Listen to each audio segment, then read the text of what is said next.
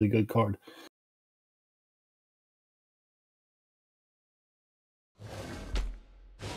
You're watching the Eternal Tournament Series. Welcome back, everybody, to the Eternal Tournament Series. I am Gabe, also known as Calamdir, and in the booth with me is LocoPojo. We've got a cool matchup here for you.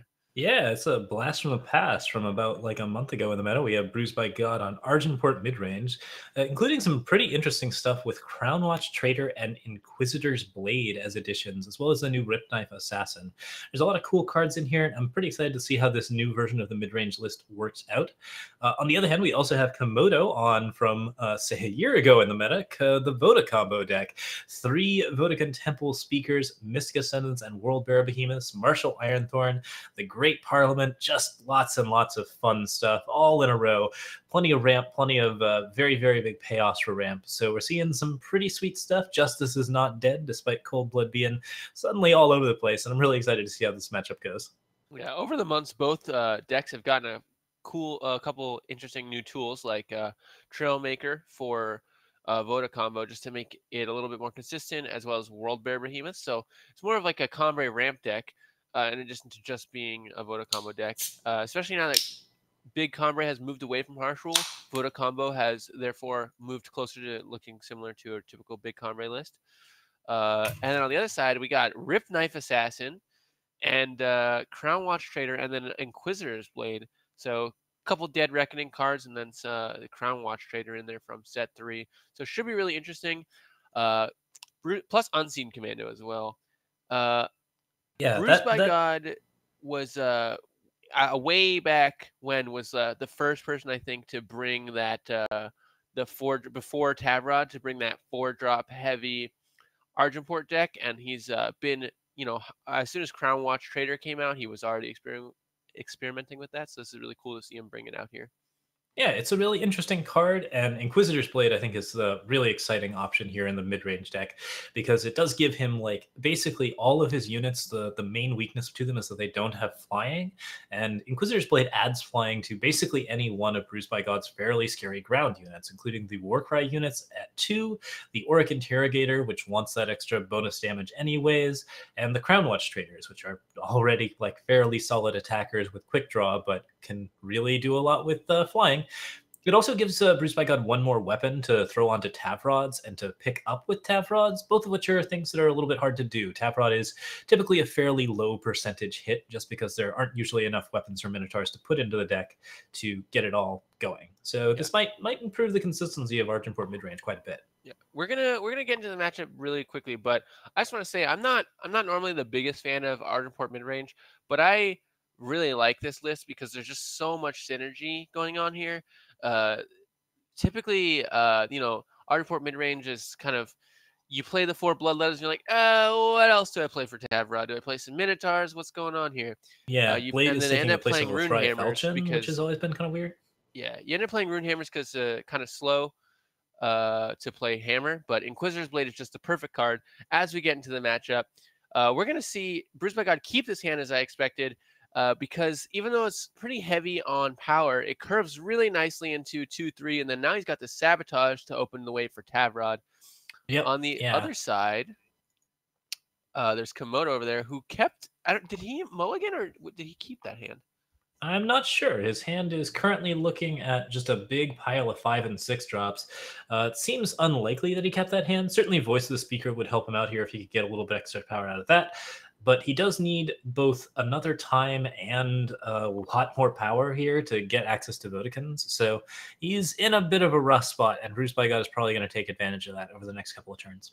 Yeah, I mean, as long as he draws some power, he's in a pretty good spot. The the uh, Great Parliament, not a bad draw at all. Uh, four four blocker is very relevant on this board. Uh, it's kind of a terrible draw for him just because it's the only spell in his hand, and oh, otherwise Sabo would totally miss. Correct, correct. So but it looks like he's actually going to get to play it. And uh, unfortunately, he doesn't really want to play it. Like, uh, he, he would really much prefer to be playing a World Bearer Behemoth or a Marshal Ironthorn. Uh, yeah. Just isn't seeing it there.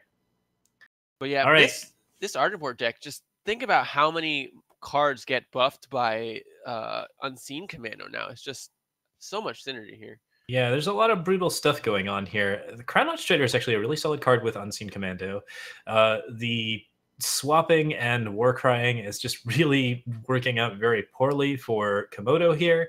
He kind of needs to harsh rule the board away, and that's really not a thing that's going to help him all that much. Bruised by God is considering saboing here to try and find a harsh rule before Komodo can play it. But if he wants to go super aggressive, which it turns out he does, uh, he can just play the Crown Watch Trader down and be fine.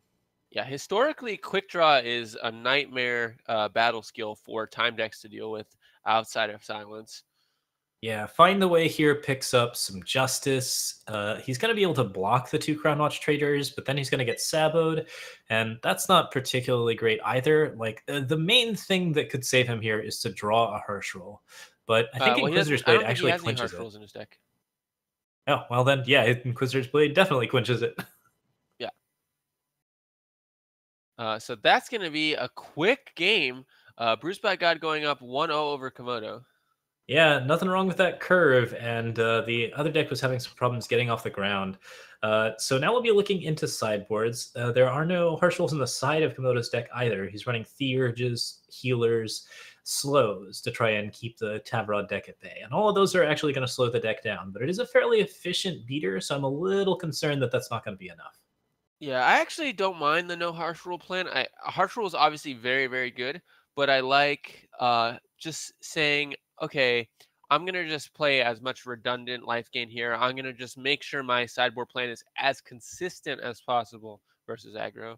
I, I am quite all right with the no harsh rule plan, but I think you need more three drops and two drops to make that work. Like he's currently running two two drops, uh, technically three with Desert Marshal, and then Knight Chancellor Siraf in the three slot. Everything else is four or above. So yeah, I don't know about the really hard to build an early play. advantage there.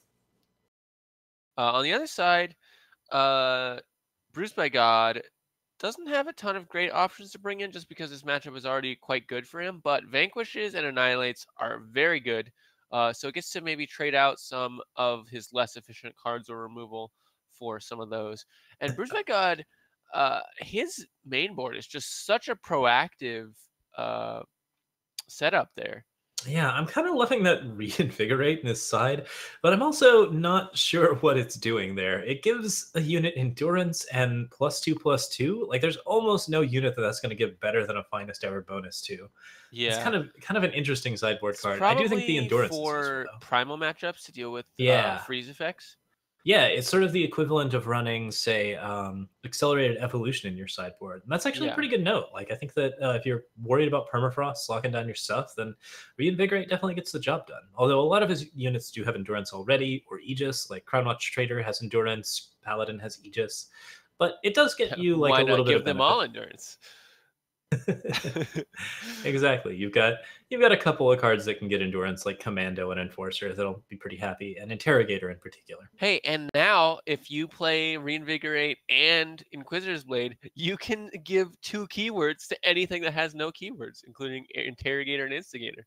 Yep, that's true. It gives you that extra plus one plus one from the Crown Watch or the Unseen Commando. Yep. Okay, we're into game two. Both players are sitting at mulligans. Bruised by God is looking at an okay hand, a three and a four drop with a Slay in tow. Komodo is uh, sort of we we don't have Komodo's hand just yet, but we're we're getting real close to it. we're, we're getting there.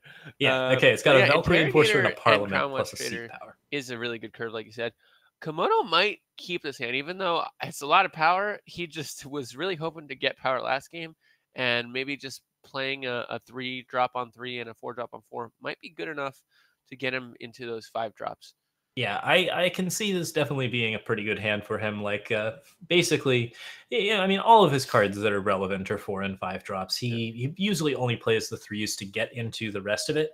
So if he's looking for an early curve, that's fine, but that could really screw up his late game, and he kind of needs to get there against the mid range deck.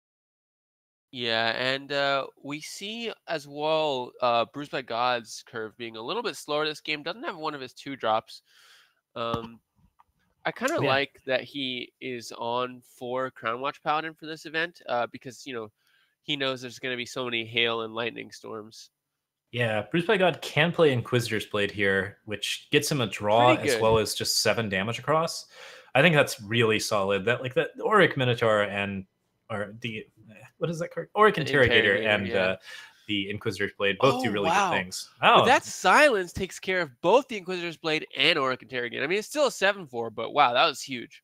Yeah, uh, it trades with both units now, which is kind of nice. Bruised by God could even lead with a Slay if he wanted to, but I think he probably just wants to clear these guys off or get his seven damage in. And turns out, yep, the silence does basically nothing on board. Bruised by God still gets seven damage across, and he's perfectly happy attacking in here. Yeah, there was definitely an argument for uh, playing down that Valkyrie Enforcer silencing uh, Komodo's Valkyrie Enforcer, just guaranteeing in some damage next turn. But I he can also just do that next turn. Yep. Uh, yeah, I think that's fine. I think he only had five power this turn anyway, Yeah. so uh, Yeah, yeah. com- I me- I commando into of the nothing. commando. Yeah. So we do have Crown Watch Trader, we have Slay, we have we have a couple of options here, but not not too much going on for Bruised by God. He's mostly just uh, basically trying to push as much damage as possible. I mean, he has he has a great curve here. He can uh, he can play Valkyrie Enforcer and Unseen Commando, get in for four damage, and even attack with this um this interrogator if he wants. Yeah, he can also hand- slay into whatever he wants. So Yeah, there's yeah, there's a lot of good options here. Yeah, I kind of like holding on to the Slay. Uh, I like getting the units out because they take it, uh, you know, a turn effectively to come online as far as damage is concerned. Um, but Slay obviously very good because it lets you keep your interrogator alive here. Yep, a 7 4 and a 4 5, forcing the chump blocks, making Komodo very unhappy. Like, Komodo's deck is just too slow here, and Yeah. he didn't really pick up anything to make it faster. So now he gets Vodakhan, but Vodakhan is just not enough. No, he's got to play this. Um, he's got to play the Flyers to at least have a chance here. Yeah, the Valkyrie Enforcer Parliament does stabilize him somewhat. He's still not really capable of defending himself on the board. I mean, Like, he's he- still taking four if uh, Valkyrie Enforcer and Unseen Commando come down here. Yep, yeah, and like that's a that's a significant amount of damage across. Uh, Valkyrie Enforcer silences the four four, the commando attacks for four itself, and the seven four trades with a Parliament Owl, which at least is something. Yeah, for sure. And then you know the two the silence two three is relevant when you're in a position like this. Yeah, so we see four damage in. Uh, Komodo's got a three three, and that's looking like an okay block if he wants to chump, but it's fine for him to take the damage too, since he's just like he's, he just needs something super awesome here. Maybe a really good CRF pull. Uh, certainly, Marshal Ironthorn's not going to get it done. Yeah, th- yeah, it's gonna be the end of the game there. I don't even know that uh, anything would have saved him there. I, I think um, Yeah, like a very very good flying unit, maybe, but it would have to be a really really good something one. like that. Um, but yeah, I don't think he he had a way out even with Sandstorm Titan. Um, so that's gonna be two quick games for Bruce by Guy with a really really proactive uh, version or a, a well tuned version for this meta of of Argenport mid range. Yep. Yeah, it's a very solid setup, and we'll see. Uh, we'll see if that deck uh, continues to advance. I think that it is just a, a really straightforward mid-range list that's designed to take advantage of a, a very specific meta. Should be pretty cool stuff, and we'll see if the amount of people running four cold bloods uh, interferes with its battle plan at all. I don't think it's going to be too big of a deal. Yeah, I think he should be okay. Um, the, the four sabotagers should do a lot of work, and I think he's got uh, some protects as well on the sideboard, like we talked about. But let's uh, while we, while we're going to try and find a backup match for you guys, um, let's take a second and uh, talk about a card we haven't seen yet that I really like, and I I'm wondering why we're not seeing more of. To be honest, that is the Sandglass Juggernaut. Uh, have you have you experienced with that card at all? Because I have not gotten a chance to. Yeah, my impression of it is that it's uh, not incredibly strong. Like it does a lot of the same things that the um, the uh, Flame Stoker does, but it's a little Right. bit cheaper and a little bit more vulnerable because it can die to a lot of shadow removal spells. Uh, like certainly the Flame Stoker is a little bit better because it only dies to attachment destruction, but like I think that the Sandglass Sentinel is doing some good things for Sentinel Bond decks and sort of very specific lists. I think it has has some good potential there with Mysterium Orb and a couple of other things. Yeah, I just like the synergy with um with all the Sentinel stuff, and then additional, you know, just being another five drop in Don Walker decks where people are not necessarily always playing the best five drop. Like a lot of times, I think it's better uh, than World Bearer Behemoth in a lot of practice mid range decks where Ooh, Uh, yeah, I don't know about that. World well, War I, well, real strong Behemoth five. is really good, but uh, World Bear Behemoth is only good if you're playing. It's only better when you have stuff past six. I think if your curve tops out at. Uh, uh, maybe I just like this card way too much. Everyone can tell me I'm dumb, but I think that yeah, if, you I think that- that, that if your curve tops out at Heart of the Vault, um, World Bear Behemoth isn't that great. I don't know. I, I think a six seven overwhelm is just like an incredibly True. solid stat line regardless. Yeah, and Overwhelm the ability to uh, basically just play out all of the power in your deck over time is one way to just sort of finish a certain type of threat if that card gets left on board. The the All six one doesn't do that kind of thing. It, it it wins on aggro or it doesn't. So Yeah, you're probably right. Six seven is a lot of stats. We're gonna move on to Paradox versus Pupicitus. Uh, that is gonna be two time decks facing off. We have Praxis here versus right. Elysian.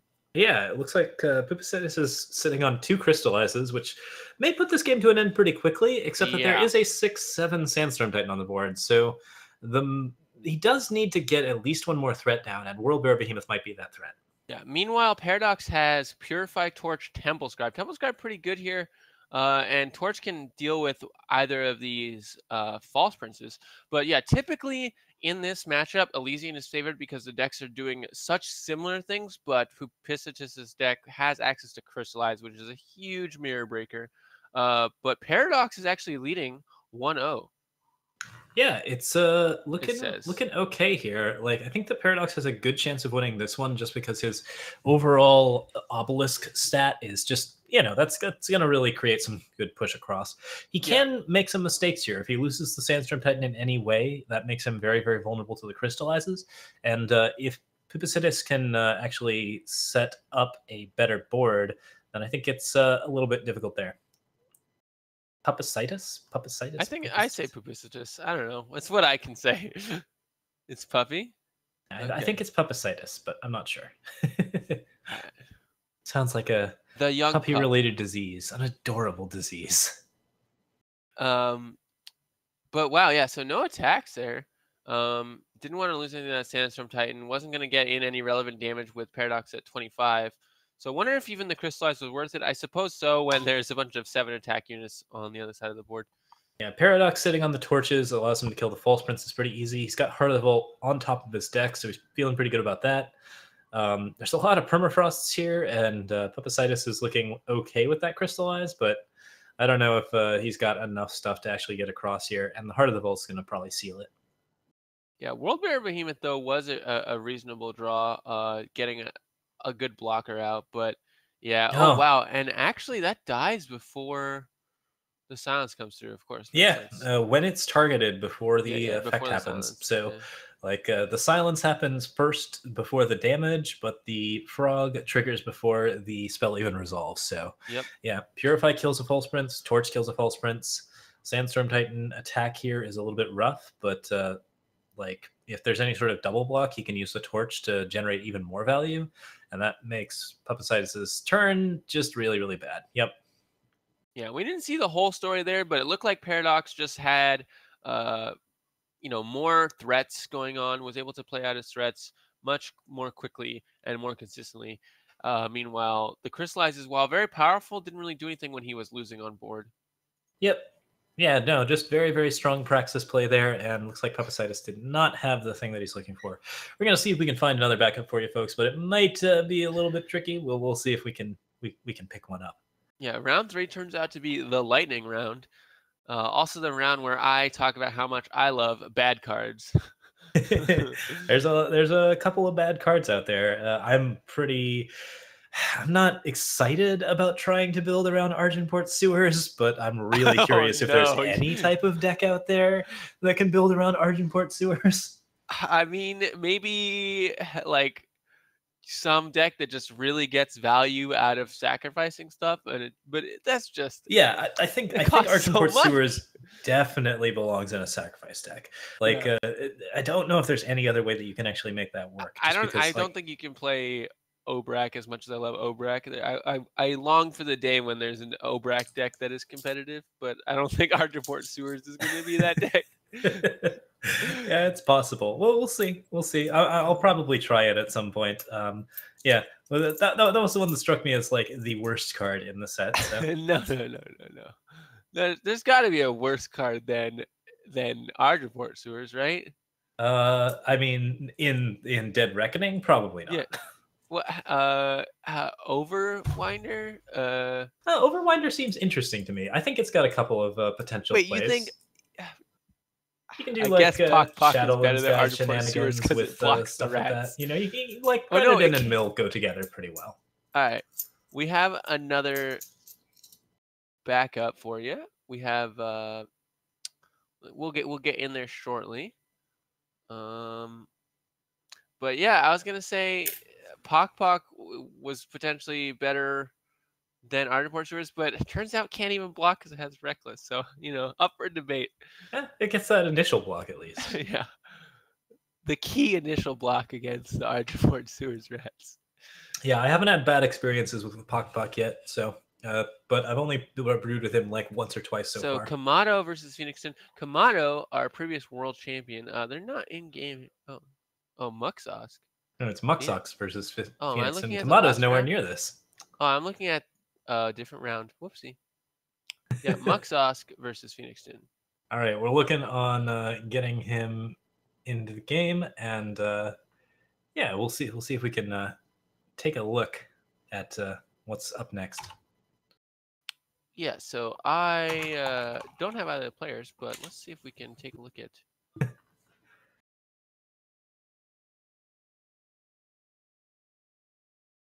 Okay, well, we're trying to figure it out. just, uh, just, just trying to get it all set up. But uh, yeah, so we, we got Muxosk now. Muxosk is looking at uh, a pair of permafrost in his opening hand, along with two Wisdom of the Elders. But uh, all of his influence is not blue, so might be a little tricky to play things out. He's going to keep the seek power, I'm guessing. He does have the crest to search a little bit, but yeah. So looking like this three faction deck here. Uh, I'm excited to actually take a look at the deck lists here. Um, I'm be- wondering if this is more of like a token type strategy because this is definitely a color with a lot of you know cards like assembly line, scouting party, or if it's just control. Okay, it looks like heart of the vault, so probably a more controlling strategy. Yep, he's pulling blue sigils here to make sure that he gets that Wisdom of the Elders out. He's got Crest of Impulse to control at the top of his deck a little bit, but he's obviously not looking to scout here because Heart of the Vault is amazing for him. Right. Does this so- have moment of creation? Yes, it does. We are seeing three moment of creations in Muxosk's list here. He's also Oh, got yeah. four Curiox Insatiable Seeker. Those That cards are getting cool better card. all the time. There's more and more cool Praxis spells getting included in. I'm actually really the most excited for Boar in these types of decks, just because Boar can potentially pop a bunch of Aegises and throw a bunch Boar of attachments into the card. void, and like then just like add like three or four extra stats to the game. I've always Boar- been really in favor of Moment of Creation as a card, and I think that uh, if you're getting like a ton more spells out, it actually becomes pretty close to viable. I know we try not to talk about other card games that much, but if anyone's familiar with Magic, uh, Shattering Spree is, is a very good card in Magic. Boar in Eternal is better than that card. Yeah, no, Significantly better than that card. It's pretty sick. It definitely is a solid, solid relic and attachment hate card. It kills curses, it kills weapons. It does just a lot of things. Yeah. Um, and yeah, so Phoenixton on his on this Feln control list. Um, Yeah. I think that that Muxosk might be favored just because of how slow this matchup is, and uh, he might actually be able to get value out of his cards like Curiox and uh, Yeah. Moment of Creation. I think we've seen Phoenixton's deck once already, and I noted before that it's not terribly proactive. So just continuing to play threats, the sort of Praxis style, might be knocking the deck down again. Uh, we no, I see think we saw Suno on film is what. Ah, so very similar list though. We see the Yeah. uh, the unseals, the black sky harbingers, the sabos, lots of like single target removal, but uh, not so much capable of dealing with cards like Heart of the Vault and Curiox. And if Curiox can actually get the attack in, I'm I'm pretty psyched about that idea. Yeah, yeah, we, we saw we've we've seen uh, some Feln Scar, we've seen some Feln. I think the lists that have the Champion of Cunning, Duraka, and just trying to jam threats, try to be kind of proactive, are, are pretty good. Um, but uh, Phoenixton actually not playing. He's only playing two Rindras. This this list is a bit more spread out than a lot of lists. There's a lot of two ofs uh, in this list. A lot Yeah. of two ofs. He's actually playing uh, two copies of Withering Witch still. Very interesting. Okay. Trying to spread out the different threats and make a lot of like weird advantages happen. Yeah. It's kind of an interesting strategy. It doesn't give you a lot of reliability in your deck, but you can certainly do some cool things. And we are seeing an equivocate in this deck, which uh okay, I'm pretty down. Uh, it looks like it's getting shuffled down onto the bottom, so I have Winter comes out instead, but that'll buff up Curiox for uh, later turns. this is a really good name uh, that uh, Muxosk has named his deck in Eternal Warcry. Uh, his deck is called the FTP Pile, which, sure, uh, Okay. accompanied by a spice rack of memes to season each matchup. So he's got a little bit of, you know, Curiox for some matchups, a little bit of Moment of Creation for some matchups, and then in the sideboard, entirely one ofs. His sideboard there's not more than one of any particular card. There are cards, uh, it includes cards like Nova Quake Titan, Knuckle Bones, Flame Stoker. I'm a fan of these types of sideboards. Uh, it looks like he's going a little heavy on the memes there, but yeah, that certainly gives you a cool. gives you a bevy of interesting answers and makes it hard for your opponent to settle it with your sideboard, especially if you're practiced with it. Like it is much easier for you to figure out exactly what you need to win a game, and uh, you can just often pull a variety of good answers to a variety of different threats. I like one of sideboards a lot. Uh, I hope that that one works out for him. It sounds like it's mostly just full of awesome stuff. Yeah, it's a lot of cool stuff going on here. Um, yeah, so it looks like Muxosk is going to start being able to deploy his threats here, and he he has that Eye of Winter buffing this uh, Curiox. What relics does he have? Ooh, there's his first moment of creation. That card's really good against Feln Control. Not only are the units colorless and therefore immune to annihilates, but there's two of them, so any single target removal is just going to have a hard, hard time. I just the, okay. So there's no relics in the main board of Muxosk's deck. So not until the one of Eye of Winter and the one of Sunken Tower come in does Curiox ever get the bonus. Oh, that's course that doesn't matter. It's a five-five flying Yeah, for it's six. 5/5 It's still flyer, it's perfectly okay. Yeah. It answers the Black Sky Harbingers well enough. It's multicolored. You know, it's it's doing its job. So for the record, Muxosk uh, is very close to, or maybe potentially entirely going to qualify for the Invitational on points. So that could be a factor in him choosing to play such an interesting deck here. Um, Yeah. Well, we see him running in with the six six here and uh, throwing down Curiox as well. This is looking pretty solid, and we see the uh, infiltrate is ready to go. So Curiox is just looking great. I think the moment of creation might have been the higher percentage play, but Phoenixton is not in a lot it's of definitely not uh, not the sweeter play is the is the thing. Yep.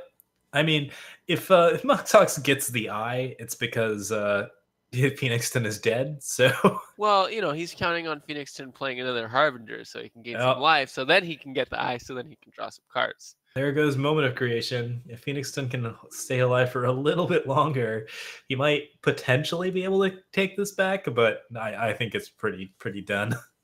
So, uh, uh, okay, so, uh, moment of creation. What reduced the cost of moment of creation? Because I missed that somewhere. But Phoenixton loses the game. That's gonna be Mux uh, Muxosk taking the game over Phoenixton over there.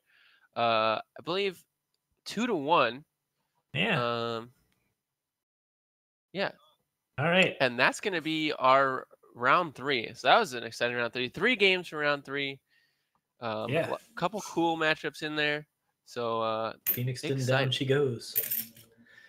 Okay, well, yeah, that's uh, that's pretty crazy stuff, and uh, we will go ahead and be taking a short break here while we uh, set up for round four. See you guys soon.